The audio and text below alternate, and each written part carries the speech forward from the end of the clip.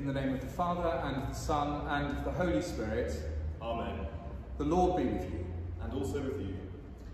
The sacrifice of God is a broken spirit, a broken and contrite heart what God will not despise. Let us come to the Lord, confessing our sin. Most merciful God, Father of our Lord Jesus Christ, we confess that we have sinned in thought, word and deed. We have not loved you with our whole heart. We have not loved our neighbours as ourselves. In your mercy, forgive what we have been, help us to amend what we are, and direct what we shall be, that we may do justly, love mercy, and walk humbly with you, our God. Amen. Almighty God, who forgives all who truly repent, have mercy upon you, pardon and deliver you from all your sins, confirm and strengthen you in all goodness, and keep you in life eternal, through Jesus Christ our Lord. Amen. Kyrie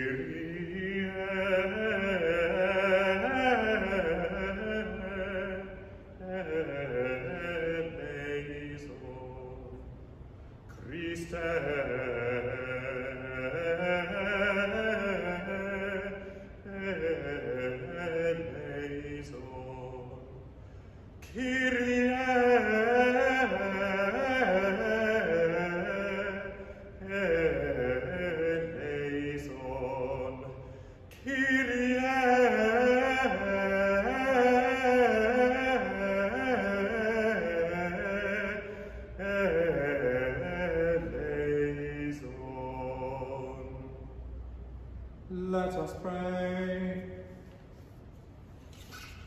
Almighty God, whose most dear Son went not up to joy, but first he suffered pain, and entered not into glory before he was crucified, mercifully grant that we, walking in the way of the cross, may find it none other than the way of life and peace.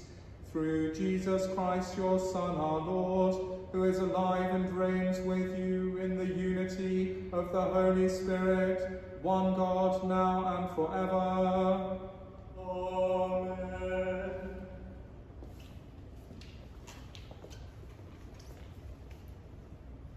A reading from the first letter of Paul to the Corinthians. For the message about the cross is foolishness to those who are perishing, but to us who are being saved, it is the power of God. For it is written, I will destroy the wisdom of the wise, and the discernment of the discerning I will thwart. Where is the one who is wise? Where is the scribe? Where is the debater of this age? Has not God made foolish the wisdom of the world? For since, in the wisdom of God, the world did not know God through wisdom, God decided, through the foolishness of our proclamation, to save those who believe. For Jews demand signs, and Greeks desire wisdom, but we proclaim Christ crucified, a stumbling block to Jews and foolishness to Gentiles, but to those who are the called, both Jews and Greeks, Christ the power of God and the wisdom of God. For God's foolishness is wiser than human wisdom, and God's weakness is stronger than human strength. This is the word of the Lord. Thanks be to God. Praise to you, O Christ, King of eternal glory. Praise to you, O Christ, King of eternal glory. The Lord is a great God, oh that today you would listen to his voice. Harden not your hearts. Praise to you, O Christ, King of eternal glory. The Lord be with you. And also with you. Hear the gospel of our Lord Jesus Christ according to John. Glory to you, O Lord. The Passover of the Jews was near, and Jesus went up to Jerusalem. In the temple, he found people selling cattle, sheep, and doves, and the money changers seated at their tables. Making a whip of cords, he drove all of them out of the temple, both the sheep and the cattle.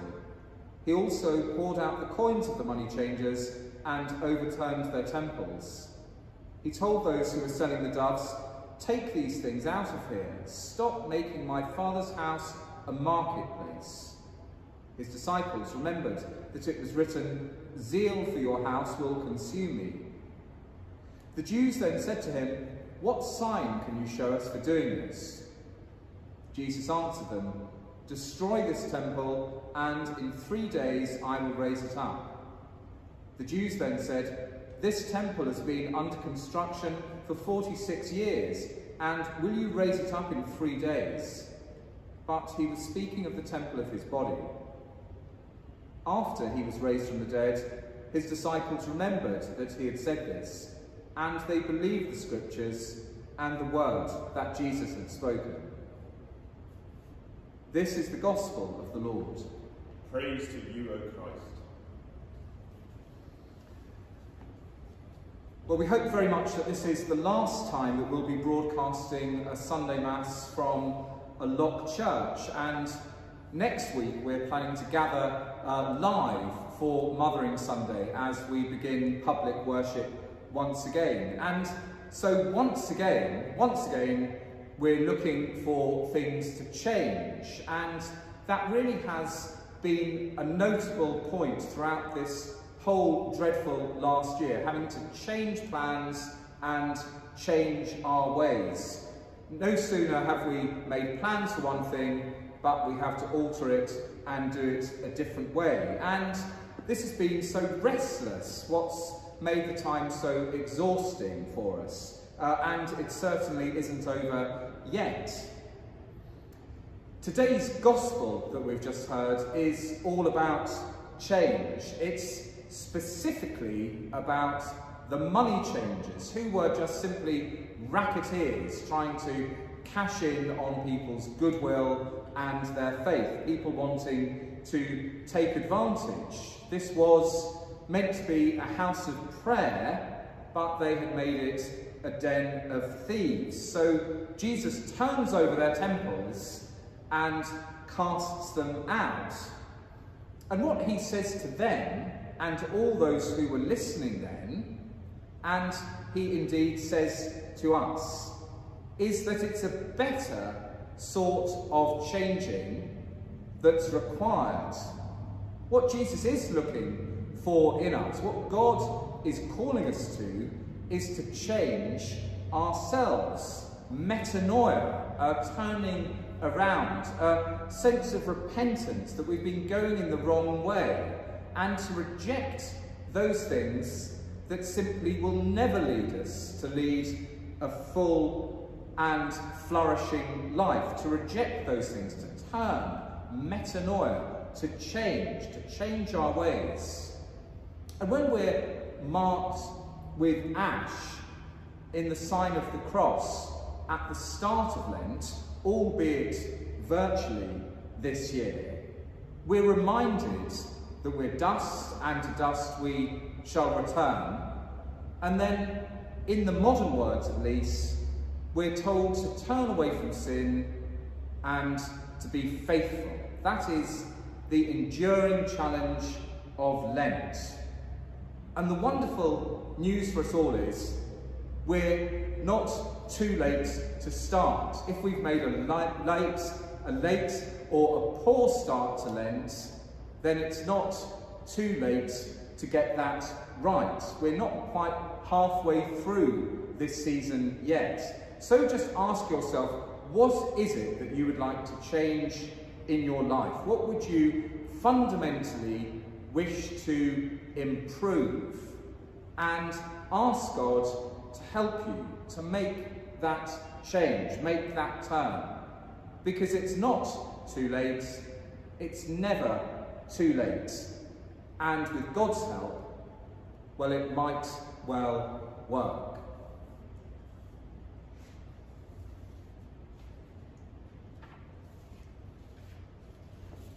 We believe in one God, the Father, the Almighty, maker of heaven and earth, of all that is seen and unseen.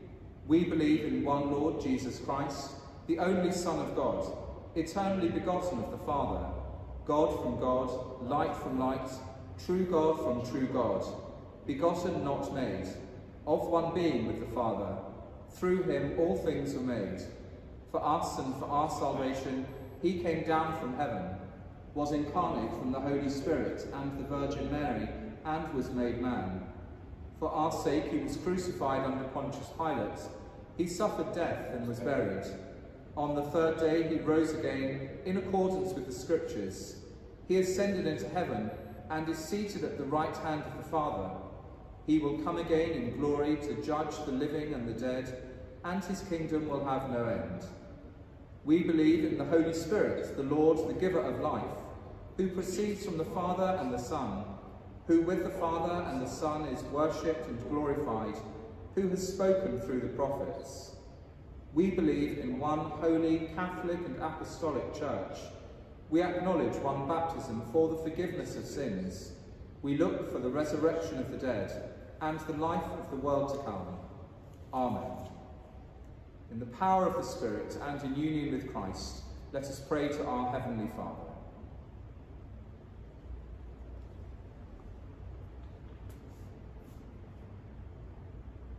We pray for your holy people, that they may triumph over evil and grow in grace. We pray to you, O Lord. Lord, in your mercy. Hear our prayer. For candidates for baptism and confirmation, that they may live by every word that proceeds from your mouth. Lord, in your mercy. Hear our prayer.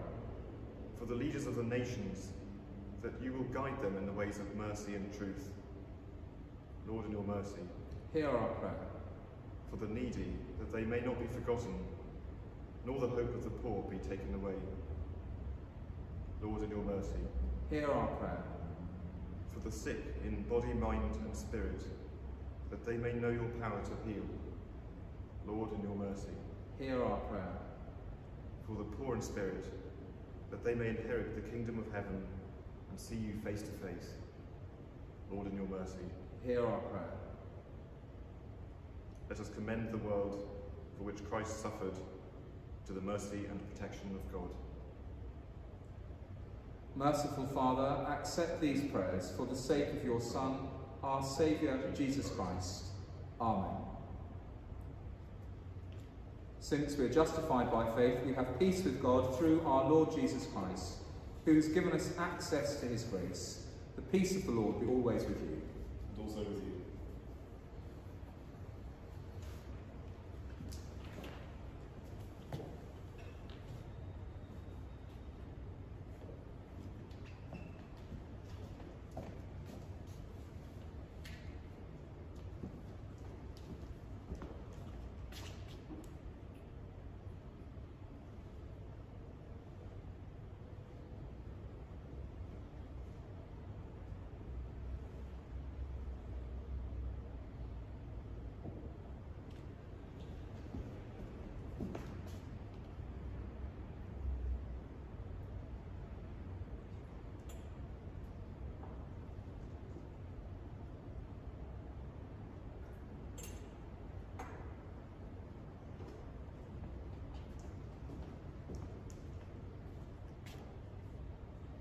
Blessed are you, Lord God of all creation. Through your goodness we have this bread to offer, which earth has given and human hands have made. It will become for us the bread of life.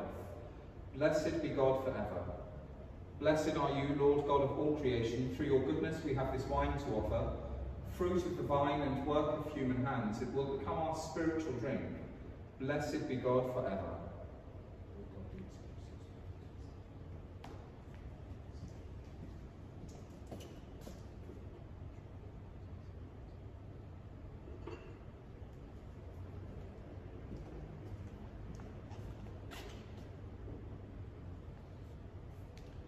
Pray, my brothers and sisters, that this our sacrifice may be acceptable to God, the Almighty Father. May the Lord accept the sacrifice we offer for the praise and glory of his name, for our good and the good of all his church. God of mercy and compassion, your word calls us home to faith and love. Accept all we offer you this day, in the name of Jesus Christ our Lord. Amen. The Lord be with you.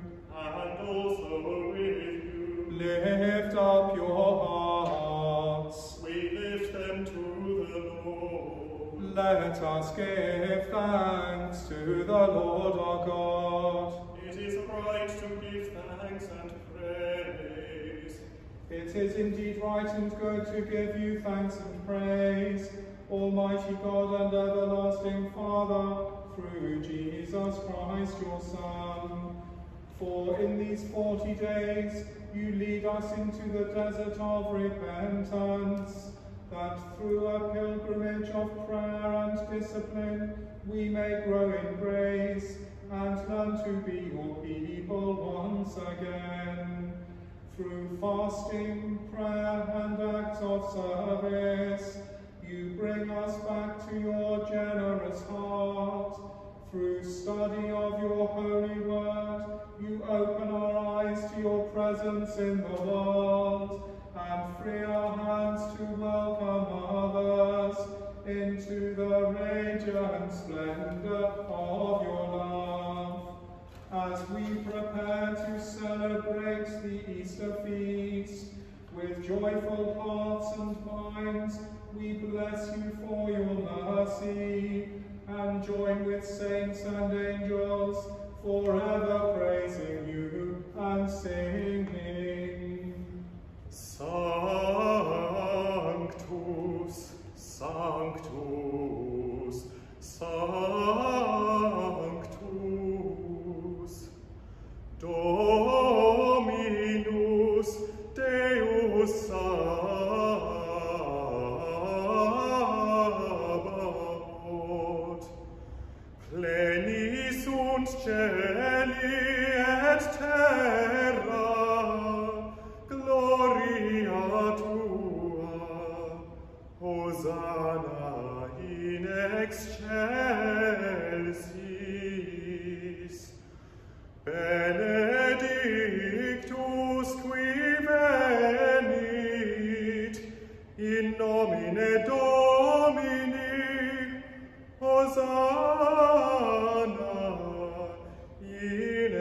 excelsis.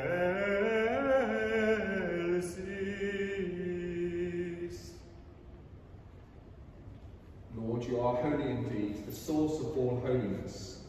Grant that by the power of your Holy Spirit, and according to your holy will, these gifts of bread and wine may be to us the body and blood of our Lord Jesus Christ, who, in the same night that he was betrayed, took bread and gave you thanks.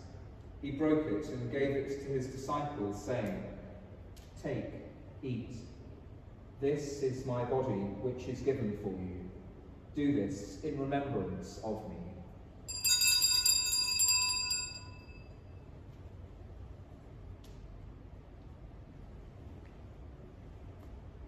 In the same way, after supper, he took the cup and gave you thanks. He gave it to them, saying, Drink this, all of you. This is my blood of the new covenant, which is shed for you and for many for the forgiveness of sins. Do this as often as you drink it in remembrance of me.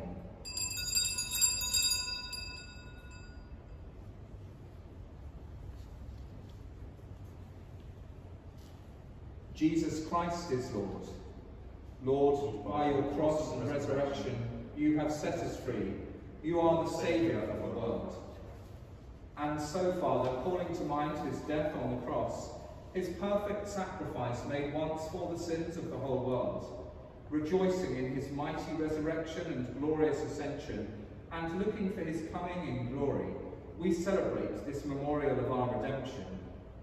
As we offer you this our sacrifice of praise and thanksgiving, we bring before you this bread and this cup, and we thank you for counting us worthy to stand in your presence and serve you.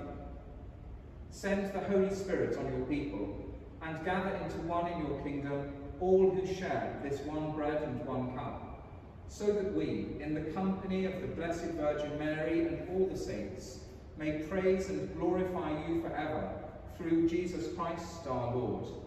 By whom and with whom and in whom, in the unity of the Holy Spirit, all honour and glory be yours Father, forever and ever.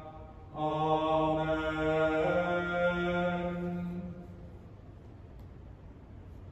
As our Saviour taught us, so we pray. Our Father, who art in heaven, hallowed be thy name. Thy kingdom come, thy will be done, on earth as it is in heaven. Give us this day our daily bread, and forgive us our trespasses, as we forgive those who trespass against us. And lead us not into temptation, but deliver us from evil. For thine is the kingdom, the power, and the glory, for ever and ever. Amen. Agnus Dei, qui tollis peccata miserere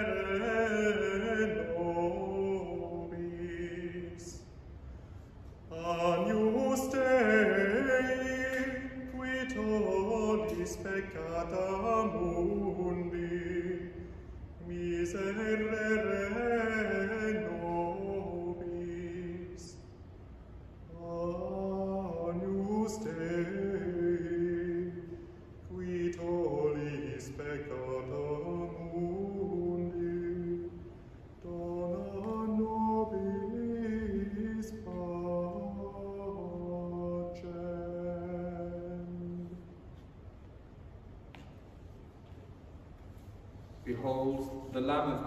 takes away the sin of the world. Blessed are those who are called to his supper. Lord, I am not worthy to receive you, but only say the word, and I shall be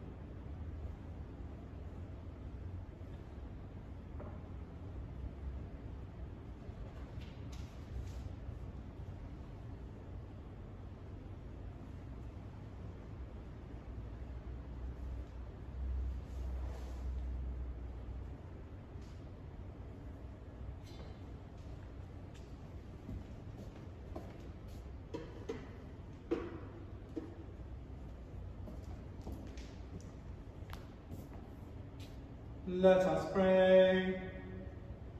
Merciful Lord, grant your people grace to withstand the temptations of the world, the flesh, and the devil, and with pure hearts and minds to follow you, the only God, through Jesus Christ our Lord. Amen.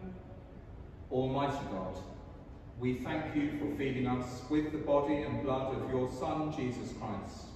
Through him we offer you our souls and bodies to be a living sacrifice. Send us out in the power of your Spirit to live and work to your praise and glory. Amen. The Lord be with you. And also with you.